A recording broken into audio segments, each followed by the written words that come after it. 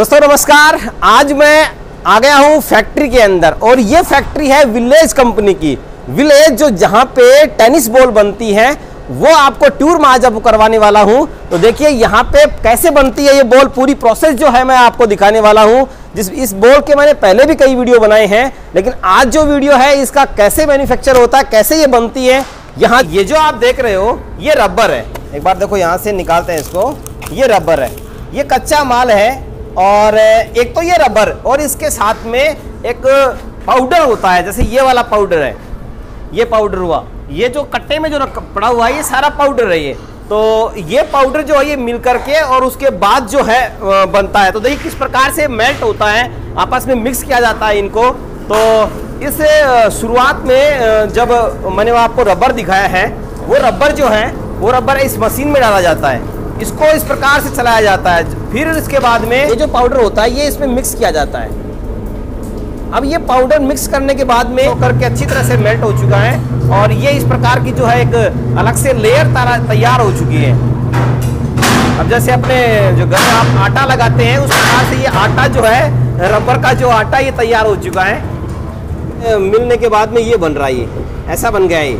देखिए इसके अंदर ये दो प्रकार के जो केमिकल्स होते हैं, ये केमिकल्स एक निश्चित मात्रा में जैसे नाप तोल करके और फिर उसके बाद में ये जो बंद इसके अंदर इसको मिला दिया जाता है।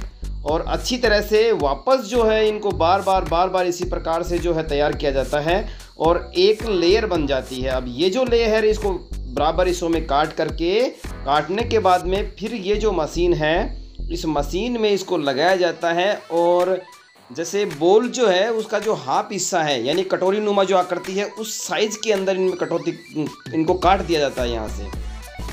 जैसे कि आप देख रहे हो, इधर जो है, ये एक बार उन्होंने सीधा काटा, फिर का- आधा टेढ़ा काटने के बाद में ये जो है छोटे छोटे ये बन चुके हैं। ये वही साइज़ है, जैसे एक पूरी जो बनेगी बोल बनेगी, उसके लिए दो चाहिएँगी ये। तो अब ये छोटी सी जो कटा है, इसको यहाँ पे ये जो हाइड्रोलिक मशीन है, इस मशीन के इन सांचों में डाल दिया जाता है। और डालने के बाद में इस मशीन को ऊपर उठा करके अच्छे से प्रेस किया जाता है और फिर जो हीट के माध्यम से जैसे ये हीट होगा, हीट होने के बाद में फिर है पूरा जैसे ये जो बन के तैयार हो गया, ये ऐसा जो इसमें निकलेगा। अब ये वाला जो है, इसको देखिए मैं आपको दिखा दूँ इसके अंदर। यहाँ पे अलग अलग बॉल्स जो हैं, जैसे दो हिस्सों के अंदर बनती है बॉल ये। तो अब यहाँ से इसको अलग करेंगे। जैसे अम्मा काट रही हैं, इसको अलग करके पूरी फिनिशिंग यहाँ से की जाएगी। जैसा कि देखो, एक तो इसके अंदर ये है और यहाँ इनको हटा करके और उसके बाद में इस प्रकार की जो है वो तैयार हो जाएगी। अब ये जो है, इसको और भी साइड से इसे ग्राइड करके और जो है इनको बढ़िया फिनिशिंग करके ताकि जो है ये दोनों हिस्से हैं, ये आपस में अच्छी तरह से चिपक जाएँ। जैसे कि आप देख रहे हो, बारीक में बिल्कुल आपको जो नज़दीक से आपको दिख रहा होगा, अब जैसे आप चिपकाते हैं ना, ऐसे चिपक जाएगी वो बढ़िया तरीके से। इसलिए जो है, इनको यहाँ से ग्राइड किया जाता है। अब आगे देखिए, यहाँ पे इनके पास एक पेस्ट होता है जिसे सॉल्यूशन वगैरह आता है, इस प्रकार का एक पेस्ट यहाँ पे आता है इनका। इस तो इस पेस्ट से इनके ऊपर चिपका दिया जाता है, और चिपकाने के बाद में आप देखिए, इनको दोनों, दो को एक जगह चिपका करके जैसे ये लगा रहे हैं इनको, ये दो को चिपका करके और ये जो डाई है, इसके अंदर इसको रखा जाता है। फिर इनको यहाँ से पैक करके और इसके बोल्ट वगैरह जो हैं, इनको अच्छी तरह से टाइट करके, टाइट करने के बाद में वापस जो हाइड्रोलिक मशीन है, इसके अंदर लगा दिया लगा दिया जाता है और एक हाई टेम्परेचर के ऊपर इनको गर्म किया जाता है। जब ये टेम्परेचर के ऊपर इनको गर्म करके और उसके बाद में इनको बाहर निकाल के ठंडा किया जाता है और ठंडा करने के बाद इनको देखो, ठंडा जैसे हो जाएँगे फिर इनको वापस इनको खोला जाएगा और खोलने के बाद में जैसे ये खोला इन्होंने एक एक को जैसे स्क्रू के माध्यम से खोलना होता है क्योंकि चिपक जाते हैं ये तो इसको एक एक को जैसे खोल करके वो जैसे टेस्ट किया जाता है जैसे वो टेस्ट कर रहे हैं इस प्रकार से ये टेस्ट किया जाता है हम्म, ताकि ये जो बोल है कहीं ऐसी हो कोई पक्की कच्ची कच्ची रह गई हो या सही तरीके से पेस्ट नहीं हुई हो तो यहाँ से ये हो जाता है। अब देखिए ये स्थिति बनने के बाद में यहाँ फिर अलग से और इनके ऊपर पेस्ट लगाया जाता है और इसको चिपकाने के लिए ताकि इनके ऊपर कपड़ा जो है वो चिपक सके और ऊपर डाल करके उनको अच्छी तरह से पूरी तरह, यानी पूरी जो होती है, ये पूरी बोल, इस पूरी बोल के जो है वो गम जो होता है या जो लग जाता है। अब आगे की प्रोसेस देखिए, यहाँ पे इनके कपड़ा लगाया जाता है। तो कपड़े क्या होते हैं कि पहले ही इनको अलग अलग जैसे डिफरेंट कलर के यहाँ पे हैं तो जिस कलर की बोल बनानी है, उस कलर के जो कपड़े काट लिए जाते हैं, एक साइज़ के अनुसार, और ये कपड़े जो होते हैं इनको इस प्रकार से, जैसे चिपका रहे हैं, इस प्रकार से इनको चिपा, चिपकाते हैं। जैसे ये कपड़े जो होते हैं, एक एक तो ऐसे लगा, फिर दूसरा जो है, इसके अपोजिट साइड में लग करके बन जाता है।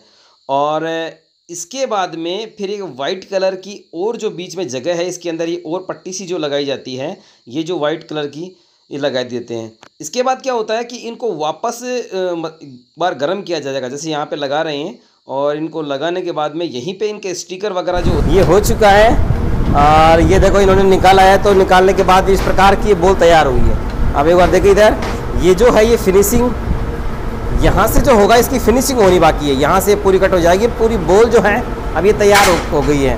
जैसे देखो ये सारे निकाल रहे हैं निकाल करके इन्होंने उस ये जो कट्टा है इस कट्टे में डाल रहे हैं। देखना अब इनकी पूरी जो है पूरी प्रोसेस दिखा देते हैं। यहाँ इस कट्टे में ये है सारे ये जो है कट्टे के अंदर पैक हो रही हैं।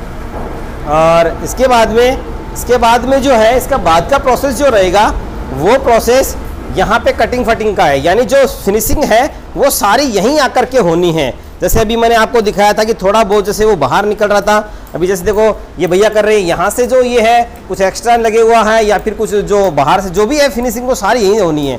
तो देखो यहाँ पे, ये यहाँ देखो आप, इन्होंने देखो यहाँ से ये जो अलग से रबर निकला हुआ था रबर को रबर को हटा दिया है। ये दो साइड तो रबर आता ही आता है, उसके अलावा भी जो है फिर उसके बाद में इसके जो ये यहाँ से और साफ़ हो जाए, जैसे ये कपड़ा जो है यहाँ से देखो अम्मा ये कर रही हैं, इधर से ये पूरा साफ़ होकर के, और ये इस प्रकार का ये फाइनल जो बोल है, वो ये बन करके अपनी तैयार हो चुकी है। ये फाइनल हो चुका है, जैसे इसकी फिनिशिंग वगैरह सारा हो चुका है, और अब जो है ये लास्ट में डिब्बों पे पैक हो रहा है। तो देखो ये भाई जो है ये पैक कर रहा है, यहाँ इनको पहले पॉलिथीन जो है, इनके कवर है, इनके इसमें डाला गया है, और डालने के बाद में जैसे ये छः छः के जो पैक है छः बोल इसके अंदर छः के नहीं हाँ छः बोल ही है देखिए आप। छः छः का पैक है और यहाँ पे ये पैकिंग हो रही है।